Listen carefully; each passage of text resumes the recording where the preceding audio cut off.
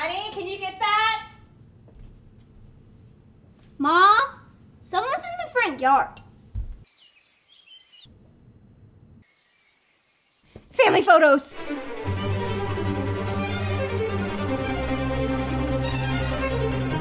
No. No. Move. I literally look like death. Why do we have to do this today? Yes, you are. No. Yes, you are. Mom! Why aren't you guys ready yet? Not an accident. Quit telling your sister she's an accident. Hey, get out of there. Other people need to use the bathroom. Let's have kids, we said. It'll be fun, we said. Shut up. Kate, Kate, Kate. We're missing one.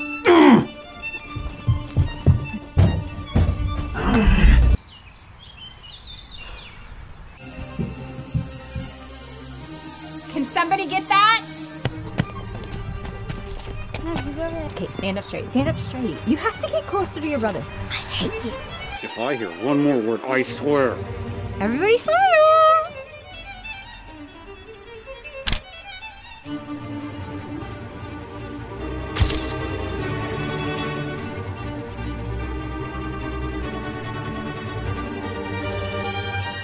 finishing up the battle for home this weekend as we've been talking about family. And we're all from a family, we're all part of a family. I think most of us at our core, regardless of what we believe about Jesus, want to do right by our family. We want to be good dads, we want to be good husbands, good wives, good aunts, good grandparents, whatever that is. And so we're trying, for those of us that are Christians, we're trying to figure it out as well. And yet it's hard, it's, it's complicated. And as we look around the world, uh, you can just see the evidence that there is a battle for home and that many are struggling. And we might even say that many are losing. And for those of us that are followers of Jesus, that are trying to live Jesus centered lives, we've been really trying to come back to one big idea that we're just saying a lot of different ways to try to put it into your soul. And if you've got your notes, go ahead and grab those. But this is really what we've been trying to drive at through the course of this series. It's this that we recognize the priority of the home in God's plan that we just we know this. As we read the bible from genesis 1 all the way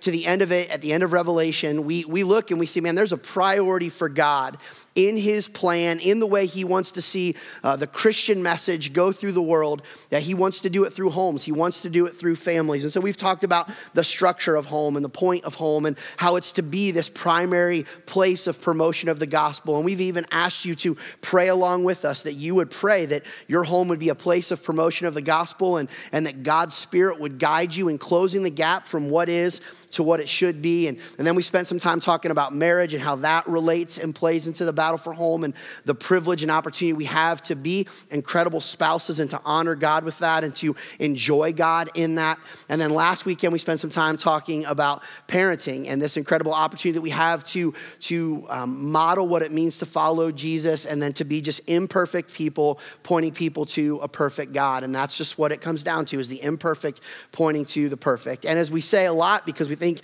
the stuff that we're talking about is, is helpful and is biblical, if you've missed it, go back and catch up on the app or the website. And, and here's, here's what I know is I've had a lot of conversations with people over the course of this series. It's something that I feel in my own soul is that many times over the, the course of the last three weeks, you're hearing these things and you're going, yes, I want that. Yes, I want that to be true in my marriage. Yes, I, man, we, we should probably turn and go after that with our kids. And yes, I, I want to be that kind of grandma or that kind of grandfather. I, I can do better with my, my, my nephews and nieces. And you're, you're like inspired, you're convicted, you're drawn, you're encouraged, you're pushed.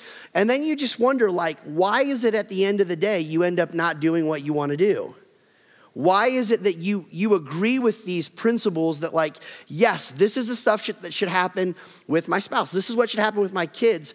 But at the end of the day, it doesn't happen. And so that's what we want to think about this weekend is how do we actually maybe deal with and dig into what's underneath the reason that this stuff doesn't happen in our homes the way we would say we want to have it happen? Why is there a gap? And so let's get after that. A few weeks ago, uh, I, I told a little bit of a story, but I want to kind of laser in on this story because it'll set the stage for, I think, what's underneath so much of why we struggle with the battle for home. Uh, I shared in, in passing that my family uh, had decided in the Christmas season to go to uh, the big local display of Christmas lights. And many of you know what I'm talking about. You go there and you drive your car through it, and it's like, you know, 20 minutes and music and the whole nine yards. And so we decided we'll make some family memories and we'll go after that as a family. And so uh, Kel had done some research and she found out, hey, look, they open at 5:30. If we can get there a little early, we'll avoid the line. Let's get after it. So we did the research and we figured out. I said, okay, come home. So we decide we're going to leave and try to get there to get in line with the cars at five o'clock. So come home from work, uh, and my parents are going to come with us. And so my parents and then the six of us, all eight of us, get in the minivan. Now we're not even 15 seconds into the car, and you start to hear. He's sitting too close to me. He's in the seat I want to be in. Why is she sitting there? I want to sit back there. He just kicked me. Is it really going to be like this? Do we have to go? And we're like, we haven't even left the driveway, right? So then we drive, we get there, we take the, you know, 15 minute drive or so from our home and we get there and the line of cars has started, but we get there pretty early and, and I hear one of them say, are you kidding? We have to wait in line. I'm like, this is going great so far. I think, okay, I'll be fun, dad. Let's just do some Christmas music in the car. So I start playing through Apple Music various Christmas songs to try to get us in the spirit. And I'm trying to pick songs that I know people in the car like. And as soon as I pick one song, one of the family members says, I don't like like that song. That song's dumb. That's not the right version. Can we listen to this song? I never liked that one's too long. Why are we doing this? Do we really have to be here? It's about 5:10 right now. start to move a little bit forward as the gates are getting ready to open and they start to go and the first I have to go to the bathroom is announced from the back seat. Luckily, as we start to move forward, there are some porta potties, and so we can figure it out. And so we say, hey, we'll drop the two or three of you off that have to go. We'll keep rolling. You can catch up with us. And so as they go to get out of the van, you kicked me. Why do you have to go? Can't you hold it? This is stupid. Whatever. Get out. We start to roll and we keep moving. A few times my dad looks at me and says, Christmas memories are so fun, aren't they, son? We get up to the front of the line finally to get ready to go in, and one of my children shouts from the back, We have to pay for this crap? Go in, we're not very far in, and one of the children decides, you know what, I see another car, they're standing in the back of the truck, and so I'll just get up in the minivan and open the sunroof, and I'll stand in the sunroof and I'll look out. And so they decide to do that, and that triggers one of the other children to say, You're in my way, would you please sit down? So now they're fighting. I look back, the oldest has his AirPods in at this point and could give a rip. He's completely done. I remind them in the middle of this, we're supposed to be having fun. And then the next, I have to go to the bathroom surfaces. And this one is from the littlest, Cami, who's already gone but decides she needs to go again. We're neck deep into the cars, cars all around, no porta potties in sight. Cami is crying in the car, saying, I must go the bathroom. It got so bad that finally Kelly said, Here is a bottle, let's figure out what to do. She proceeds to go in the car. We make it through the entire light display. We decide to pull out, and I have the genius idea who wants to get food? Well, normally that's always a win. Everyone does say yes, and then it starts happening the division and politicking for where we will get the food. The votes start coming from all parts of the car. There's yelling, there's crying, there's screaming. Dad makes a decision to do this, we're gonna have to go out and we're gonna have to go right. And when we go right, little did I know when I ordered it to pick it up, I was gonna put us in about 25 minutes of traffic standstill. So now I've done that, everyone's even more and more agitated, and I decide it looks like this would be a good moment to break the law and to go into the left lane where this is oncoming to get to the intersection so I can get across. I do. I go across only to the words of my endearing wife in the background What are you doing, you moron? Make it across safely, get across, swing around, get the food, go home, stuff our face, and everyone's miserable. now, here's what I know you have your own story if you have a family. You have your own story in marriage, you have your own story with your grandchildren, you have your own story. And here's the truth of what happens so often in our lives. Ready, guys? So often, the plan we think is gonna be awesome ends up being awful. So often, the plan we think is going to be awesome ends up being awful. And it's just not about a fun night where you go to see the lights, it can be family game night, it can be a vacation where you've saved and planned and dreamt and you get there only to have it go all wrong. It can be a date night where you thought the date night was going to be great and you expected it to be awesome. And by the end of the night, instead of cuddling in bed, you're sleeping on the couch. It can be a conversation that you knew you needed to have with the kids. It was already going to be difficult, but it ends up being worse. It can be a conversation with the in laws. It can be a weekend away. It can be whatever it is, but we think it's going to be awesome and it ends up being awful. I know that for some of us, we hear talks like we're hearing in this series, and we say, okay, we're gonna get after this, we're gonna change, it's gonna be awesome, but it ends up not going quite as scripted. And the notes that you took and tried to apply, it becomes very difficult to see executed at home. Now, you know this, and again, this isn't a Christian reality or not, but here's just a truth as it relates to our plans. Ready? The, the plans, well, they involve people. They involve people, and people aren't robots, and people have desires, and people have passions, and people have thoughts, and people have bad days, and people are tired, and people didn't sleep well the night before, and something happened to your daughter at school that she didn't tell you about, and something happened to your son at practice, and something's going on with their grades, and a boy that they thought liked them doesn't like them, and they saw something on Twitter, and they saw something on Instagram, or you had something at work, or you didn't get a good night's sleep, or someone was coming down with a cold, whatever it is, the plan involves people people, they're not robots. And different things go on. And then let me just remind all of us of this for those of us that understand what the Bible says about people. Not only does the plan involve people, the plan involves sinful people. People who are broken, people who are dysfunctional, people who have corrupt thoughts and ideas. And let me also remind all of us, because this is where we need to go this weekend, that one of the people that's involved in those plans is you. And in case you're wondering, I'll just clear it up. You're not perfect.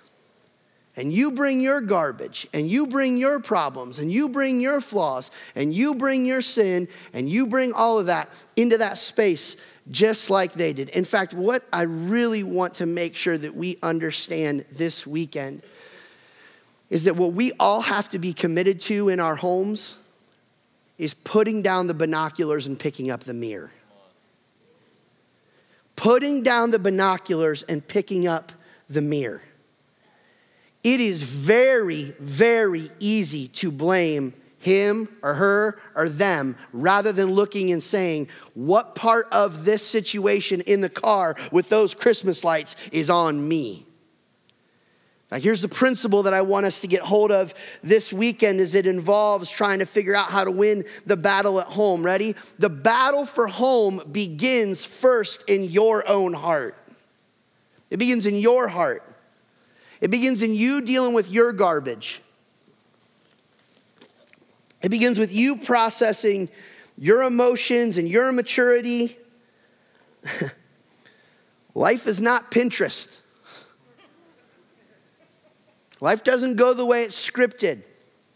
And all the challenges that everybody has, you have them, and you come home, and we want to blame everyone else. But we need to look in the mirror and say, What am I contributing that is keeping my marriage from being what my marriage should be? What am I contributing that is keeping my parenting from being what my parenting should be? What is keeping me from being the brother or the son or the uncle that I should be? It starts in my heart. Because there's something that we all have in our heart that scripture says is at the source of our frustration, our divisions, and our fighting.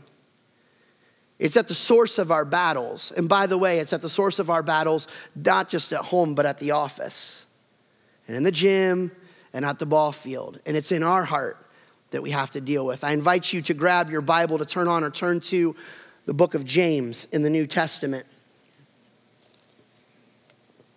Book of James.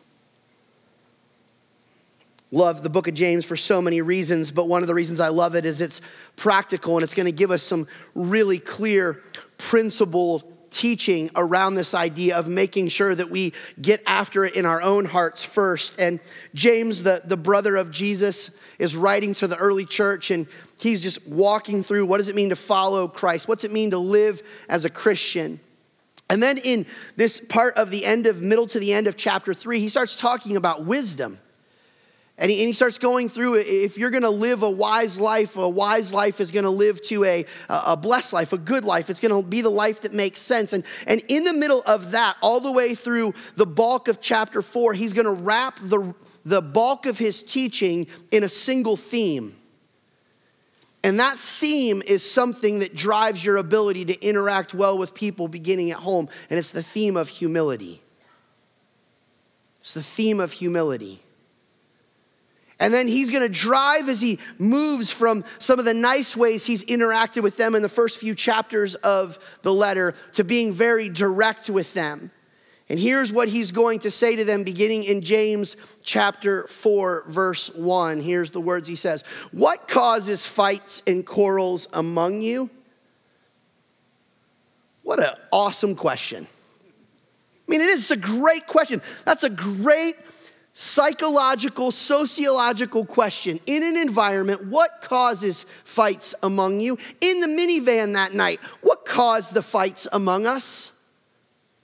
In the living room, over the dinner table, in the office, in your marriage, on date night, what causes the fights and the quarrels among you? Why is it that it's so hard to get along? Why is it so hard to love the way we talked about last week? And why is it so hard to be patient? Why is it so hard to be kind? Why is it so hard to honor? Why is it so hard to, to do the things that we are supposed to do and not get angry? Well, he's going to tell us.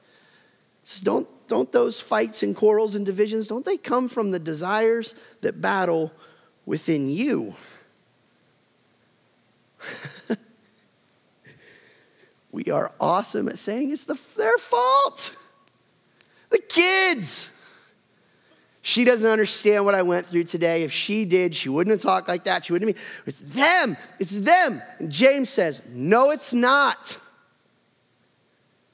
The source of your battles, the source of your struggles, the source of your division is within you. It starts with what you think. In fact, James is going to flesh this out even more, and here he keeps going. You desire, but you don't have, so you kill. Now, he's not actually saying that when you don't get your way, you go actually off them or kill them, but I trust I'm not the only parent or husband at some point that has mentally done away with my family. Okay, I'm the only one. It's fine. I'll see a counselor. I mean, I've thought through it, I've processed it out. I know where the bodies would be left. It'll be fine. I'm joking, but I mean, come on, be honest. We've all had the verbal scrap with our spouse in our head, or the things that we want to say, or the way we want to tell them off. And he says that comes because you desire what you want and you don't get it. And sometimes that desire is as simple as I don't want to hear that song. Sometimes that desire is I just want to be left alone. Sometimes that desire is I have to have a hard talk and I don't want to have it, but whatever it is, he says, when you have that desire, it wages war inside of you and then you take it out on them. And he keeps going here, and here's what he says You covet, you look and you say, That's what I want. I want that. I want to be left alone tonight. I don't want to eat that food. I don't want vacation to have an itinerary. Whatever it is, he says, You want it and you cannot get what you want. So you quarrel and you fight. He says, You look and you can't get what it is you need. And because you don't get what you want, because you are, here's the word, here's the word, selfish. Because you're selfish.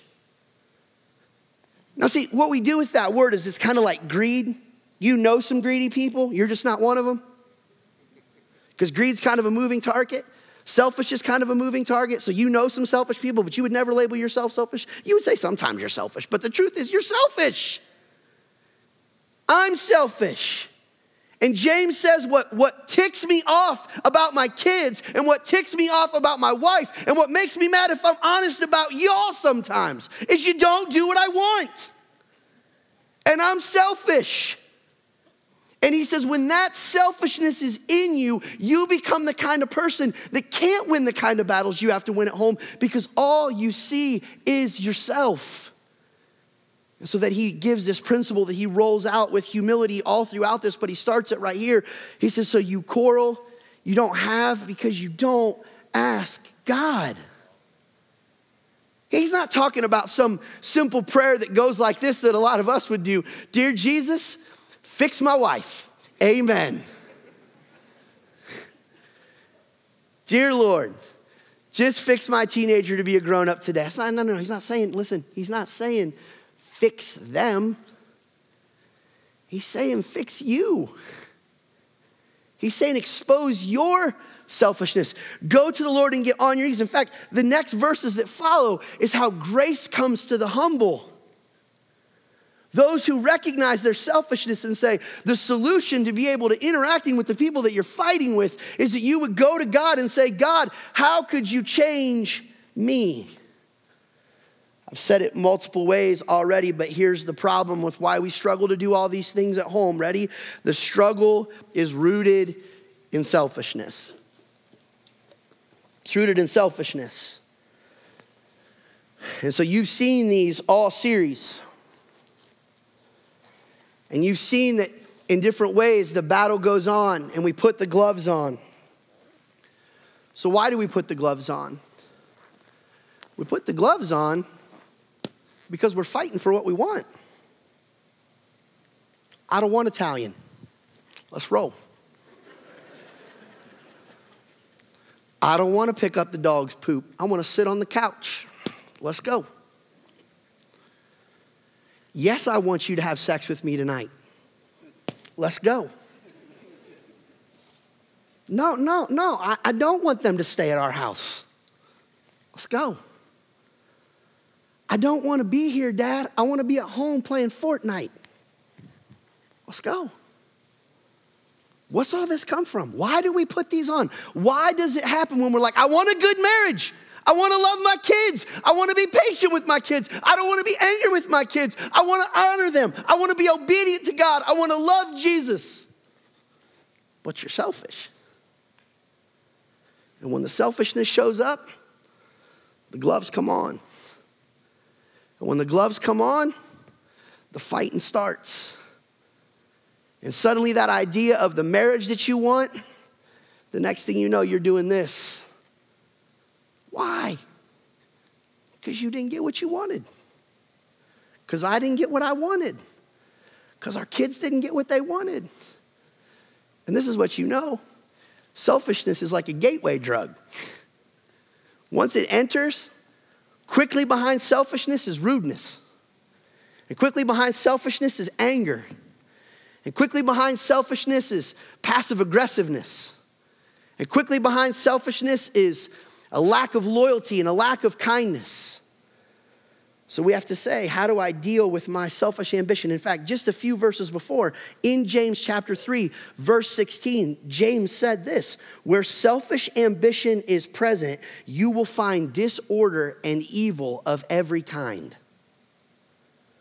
In other words, if there's selfishness in the van, there are going to be problems in the van there's selfishness around the living room, there's gonna be problems in the living room. So we can say, I wanna be a great dad, I wanna be a great spouse, I wanna be a great grandma. But then when the rubber meets the road, you don't get what you want in those moments.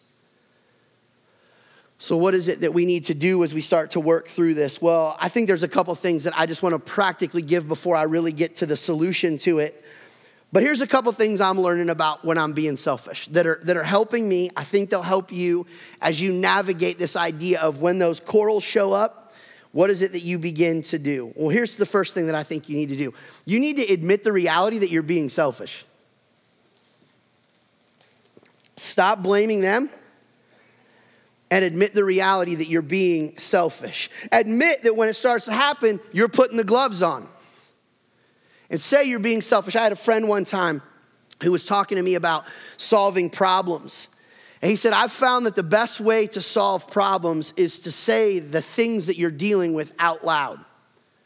What's the problem? Say it out loud. What's the solution? Say it out loud. If you did that, say it out loud. He just taught me. He said, say it out loud. Actually say it out loud. Say what is going on. So here's what I'm gonna teach all of us to say right now, okay? The next time that at home you start to feel it and you get ready to grab the gloves and you get ready to start fighting and you feel the division and you feel the quarrel and you can tell it. Here's what you need to say out loud to whoever it's with. You need to look at him and go, I'm getting mad because I'm selfish. Say it to him. Look at him. Your wife will pass out. I'm getting mad right now because I'm not getting my way. And then if you get really good at it, you can start adding like all the facts. I'm mad because I wanted to come home and watch TV and you won't let me. I'm mad because I wanted to come home to peace and quiet and it looks like a bomb went off. I'm mad because I didn't want to spend all this money to go out to eat here. I'm mad because I didn't want to go on this vacation. I'm mad because I don't want your parents here. I'm mad because I wanted to have sex and you won't. I'm mad because they didn't listen to me, and, and I think that the only way I'm a good parent is if they listen to me right away, and they're not, and I'm mad because I'm not getting my way. Just start saying it. I heard this in a sermon a few years ago that the pastor that was preaching it, he just said, just start saying it. Just start saying it out loud. Like the fight starts to happen, you grab the gloves, you get ready, just look at them. I'm, I'm, I'm getting mad because I'm not getting my way. Just admit the reality. You'll be amazed what it starts to do to that conflict in that moment. But more than that, you'll be amazed what it starts to do to your own heart. Because you can't solve selfishness you're not aware of, but if you start calling selfishness what it is and you say it out loud and you admit it, just say, I'm being selfish. I'm being selfish. sometimes, sometimes it's great. I'll say, Kel, I'm being selfish. I know. And then sometimes, because she's awesome, she'll say, and I'm gonna let you be selfish right now. I love when she says that. Other times she says, Yeah, knock it off. We put on the gloves because we're being selfish. So the first thing we need is we need to admit the reality because the battle for home begins in our heart. And the struggle begins with our selfishness. So we need to admit the reality. And then the second thing, and this is hard, all right? This is like if this is a, a 100 level class, this is a 200 level class. Ready? The second one is this we got to acknowledge the reason. It's one thing to say I'm being selfish, it's another thing to start acknowledging why am I being selfish? This is where you start to dig at it. You start to go below the surface.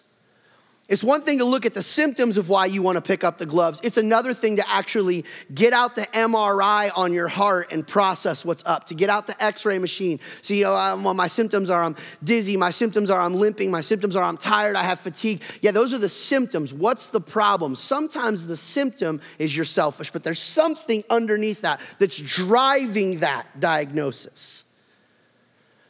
Over the course of this series, we've brought up a few of these. Sometimes, where we as parents are selfish, is if we're honest, it's just our pride. Like with our kids, we don't want to lose, we want to hold on to our power position. So we're selfish just to try to defend our position and our pride. Sometimes we're, we're selfish with our kids because the truth is, and I mentioned this last weekend, we're more concerned about our reputation than we are about theirs. So, how they play on a ball field is less about how good they are and how good we look. So, we get selfish to yell at them and defend that. Sometimes in our marriage, we're selfish because we have unforgiveness.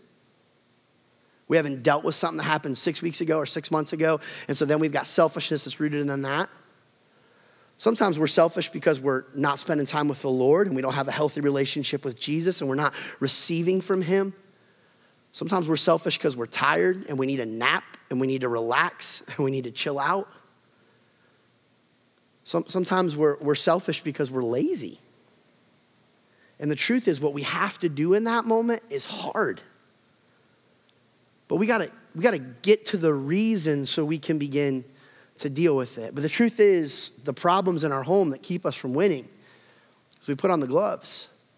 And the gloves are rooted in our selfishness. And if we're gonna start to move through that, we gotta say out loud, admit it, I'm being selfish. And then we gotta start to acknowledge the reason behind my selfishness. Now that starts to get us there, but I think there's a principle that's beyond even that if we're gonna win at being the kind of people that win the battle at home. The Apostle Paul teaches us this principle that is a principle all over the pages of Scripture. And when you go there, you're going to go, yep, I've heard that taught at Grace before. Yep, I've, I've, I've thought about this. Very familiar verses that are just the, the principle of how we, as Jesus centered people, are supposed to live our lives in connection to everyone. And again, unfortunately, what we are good at doing is taking these verses and putting them into every other area of our life rather than our families. So, what is it that happens that we need to consider? Well, let's go to Philippians chapter 2. Philippians chapter 2, and here's what we are doing in our selfishness. We have the gloves on, and we're ready to fight. And in those moments of our selfish ambition and our vain conceit and our anger, we're ready to go. And Paul shows up, and here's what he says to us Do nothing out of selfish ambition or vain conceit so you start to recognize and admit I'm being selfish. I'm acknowledging the reason I've got to process this and deal with this. And he says, in that moment, when you see it and you start to go after it, you've got to say to yourself, you know what you're doing? You're, you're acting out of a selfish place. And God doesn't want you to. That's not what Christians do. That's not what Christ followers, that's those who follow Jesus do.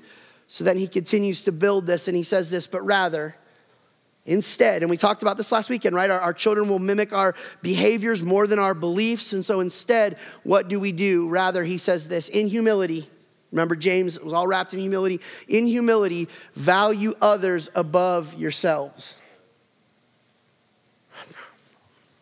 I want to. No. Put them down and see them. Put them down and say they matter more than me. Put them down and say where they want to eat is more important than where I want to eat. Put them down and say what they need help with is more important than what I want to rest on. Others more important than yourself. And then he comes back and he says, not looking to your own interests, but each of you to the interests of others. Come on, guys. How game changing would it be in our homes if we just lived these two verses? in, this, what parents we would hope would happen with our kids and their siblings, that they figure out how to do this. Let me just enlighten us. That won't happen with them if we don't even do it ourselves. I'll tell you the antidote that Paul tells you, that the scriptures tell you over and over is the deal to dealing with your selfishness, that is the struggle to being able to win the battle at home. Ready? The solution to selfishness, what Paul's saying is service. So look outside yourself to see them and to say, How can I help them? How can I care for them? See, we follow a Jesus who didn't come to be served, but to serve. The notion of to love and to see other people is to see what they need and to elevate them above ourselves, to become humble and to say, How can I care about you? In fact, the visual that I would love to give you this week is I want to invite you to put down the gloves and to pick up a towel. And instead of having gloves with selfishness in your home, to put the towel on and say, How can I serve? What would it look like in your home that when the gloves want to get put on, you put down the gloves and you pick up the towel and you say, I'll watch the show you want to watch? I know it's a game. I know it's a, it's a, it's a rom com that I'm not interested in, but I will serve you. I'll absolutely get up and go put the kids to bed. Yes, we can have that conversation. Here's one that would just be crazy for me to be able to do to put on the towel. I will sleep tonight without the fan on.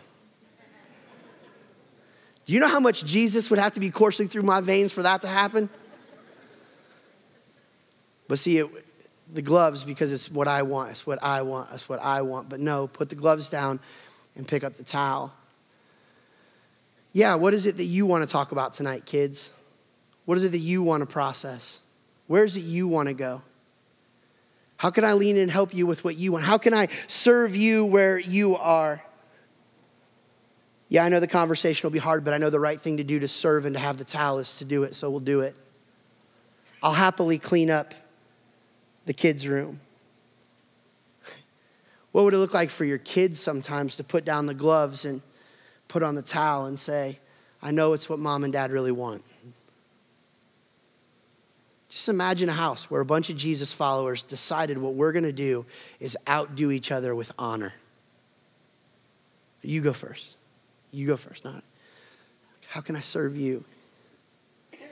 How's that begin? Well, you got to admit you're being selfish. You got to admit you're putting on the gloves, and then you got to put down the gloves, and then you have to put on the towel, and you have to say, I'll pick it up and I will serve in my home. Why is it we often don't win the battle for home? Why is it we don't have the marriages that we want? Why is it we don't have the parenting we want? Why is it siblings do what they do? Why is it that so many stories end up with kids and adults in a minivan frustrated that they were trying to do something as a family? Why is it that you have quarrels and divisions and wars within you? Because you're selfish. And selfishness puts on the gloves. And the only answer is to have Jesus show up in our hearts and change us in a way where we would put down the gloves and we would pick up a towel. So, what is it I want you to do with this this weekend? Something simple. I've already driven at it. It could change the trajectory of your home. It'll make for some fun conversations. I can't wait to hear some stories when you start doing it, all right? Simple action step that we can all start to put into our homes is this make the phrase, I'm mad because I'm not getting what I want normal in your home. Just start saying it. There'll be some of us this weekend that won't even get to the house before we have to say it. Just say it. Put it in your home. I'm mad because I'm not getting what I want. What you're really saying is, I'm being selfish. And that is a signal for you to say, I need to put down the gloves and pick up a towel. I need to go from wanting to be served to serve. I need to go from saying, What will you do for me, to saying, What can I do for you? How do we win the battle at home? This sounds crazy. If we want our homes to look like Christian homes, we have to live like Christians. I know it's nuts.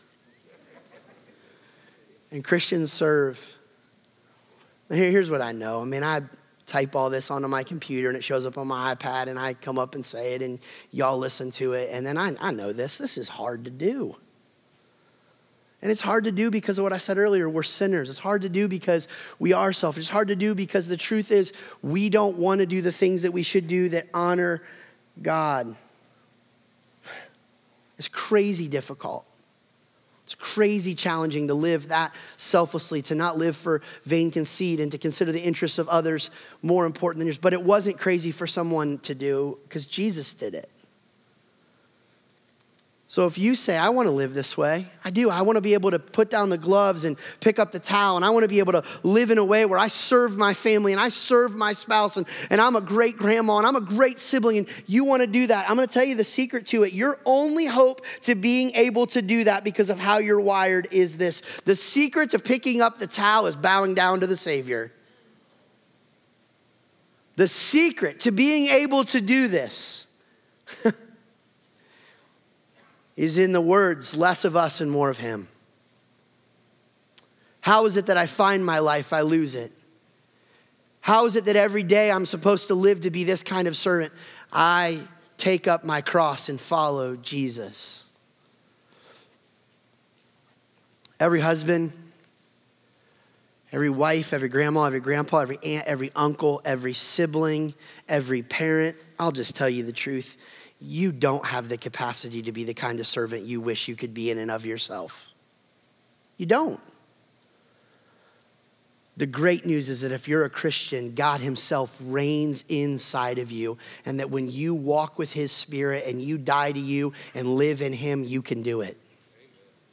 That if you can stay connected to who Jesus is, Hebrews tells us, fix our eyes on the author and perfecter of our faith, and that when we look at his example, we will not grow weary in doing good. How is it that we serve? We fix our eyes on the servant above all servants we bow down to Jesus and say, Jesus, my natural inclination is to pick up the gloves every day. And the only way I'll ever pick up a towel is to be near you, stick around you, follow you, fix my eyes on you, and see what you have first done for me. I remember I was on a, a trip with students I was leading years ago before I was a pastor here. And we were doing this project where we would go to various people in the community's homes and we would help them clean up their homes, mostly elderly folks who couldn't get out and about. We go to this one old woman's home and she gives us some things to do in her home. And then she says, Would any of you be willing to, to cut my grass? And one of us said, Absolutely, we'd be willing to cut your grass. And so we began to ask her, Do you have a lawnmower? She said, I do have a lawnmower. And she takes us out and she walks us to this shed. And in the shed is one of those electric lawnmowers. It was dilapidated, it was old. She says, Right over there's the extension cord. I'll take you to the plug. And she said, I know she doesn't look like much, but if you keep her plugged in, she'll cut the grass. I know that she doesn't look like much, but if you keep her plugged in, she'll get the job done. I know I can never be the husband I'm supposed to be. I know I can never be the dad I'm supposed to be. I know I'll never be the brother or the son, but if I stay plugged into the source of godliness that is Jesus Christ Himself, I'll do all right. I won't on my own. I won't with more gusto and strength and bearing down and muscle. But if I stay connected to Jesus, if I fix my eyes there, there'll be a little bit more of putting down the gloves and picking up a towel if I can keep connected to Jesus. It's like a vicious cord on repeat in a church. The secret to your success in any area of your life is your ability to surrender to the Jesus who died for you. How do we win? We stay close to Jesus. We follow Jesus. We lean into Jesus. And only then will we have the strength to overcome all of our struggles and be the servants that can win the battle for home. So, what we want to do as we wrap up this weekend is just fix our eyes on Jesus. His grace, His love, His mercy, His hope that many of us have come to firsthand know and experience. And that we'd be reminded as we close in song of the grace of God that transforms us and gives us the ability and the power to be able to lay down our selfishness and pick up service. And if you're not a Christian, I just invite you to consider this Christ who modeled everything I'm asking us to live by going first and dying for us while we were not interested. Let's pray together, guys.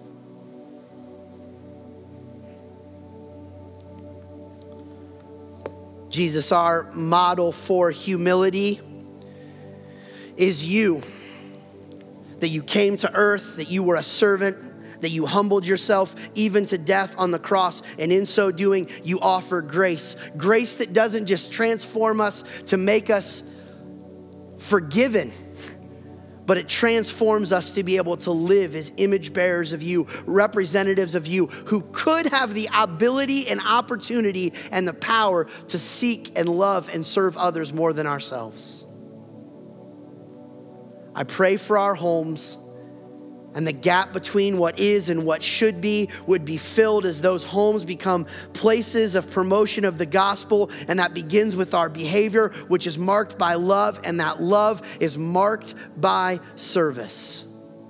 So, Jesus, right now we dwell on you. We think about your grace and we recognize that we must fix our eyes on your passion and that you should be our only desire. We pray this in the name of Jesus. Amen.